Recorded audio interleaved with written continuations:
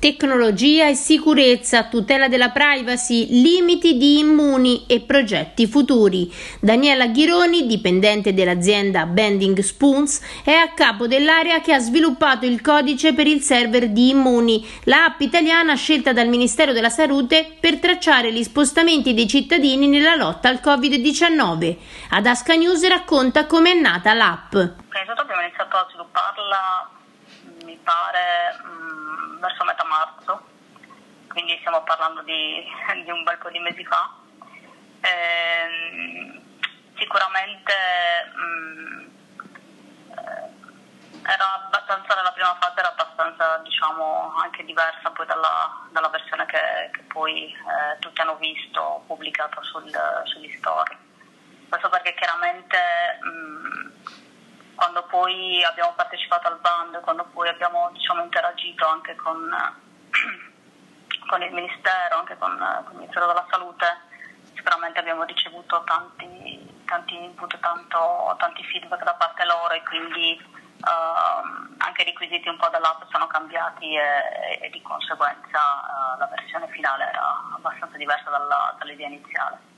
e sui limiti che presenta la app, come la necessità di avere un iPhone superiore al modello 6S, Ghironi spiega.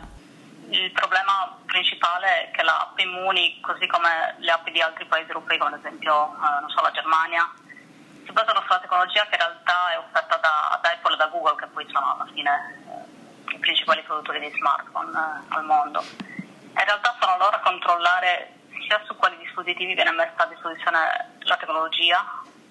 uh, visto che comunque dipende da caratteristiche fisiche del cellulare uh, e anche dalla versione del sistema operativo che è installato appunto sul dispositivo. Quindi è possibile che in futuro questa funzionalità venga rilasciata anche su un, su un maggior numero di modelli, ma purtroppo è una decisione su cui noi sviluppatori non, non abbiamo alcun controllo, quindi non, non c'è nulla che possiamo fare eh, a riguardo. Mentre sulla sicurezza e la tutela della privacy la sviluppatrice tranquillizza. Sicuramente un po' di dichiarazioni che ci sono state all'inizio, sin dall'inizio in cui si è iniziato a parlare insomma, di, questa, di questa app, uh, diciamo, sicuramente non hanno aiutato diciamo, a, a, far capire anche bene come, come, in realtà poi funziona e tra l'altro un po' tutte le accuse eh, diciamo, che si sono susseguite nel tempo relative so, alla privacy eh, in particolare. Poi alla fine si sono rivelate in realtà uh, delle accuse abbastanza infondate. Uh, io inoltre poi penso che um, un, altro, diciamo, uh, un, altro, motivo per cui magari il numero di download uh, sia, un sia, un po', frenato uh, nell'ultimo periodo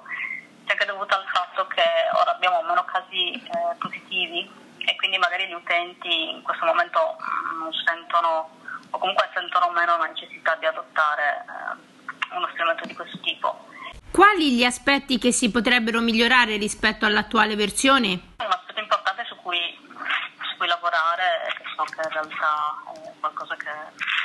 è già previsto,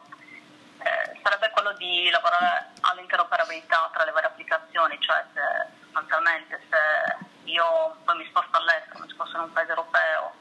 e potenzialmente so, ho un contatto con, con, una persona che poi risulta positiva,